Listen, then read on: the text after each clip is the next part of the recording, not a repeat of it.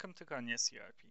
In order to define BPM event types and process relation, access BAST01 check tables transaction. Select BPM and then event process relation check table and then click detail button. Click on the new button here. The company is selected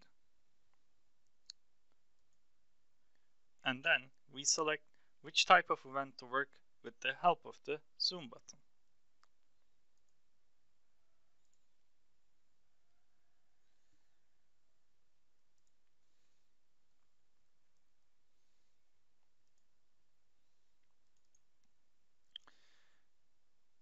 Document type is entered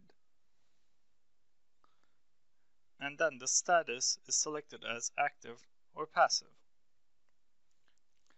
Now select the row and then click detail button. The if clause condition is entered as 1 is equal and equal to 1 to let it work in any case. Which process ID and which business unit ID will work should be selected.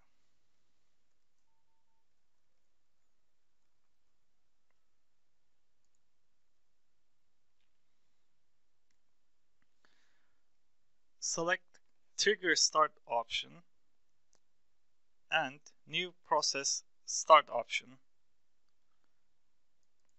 And then after entering the other necessary and optional settings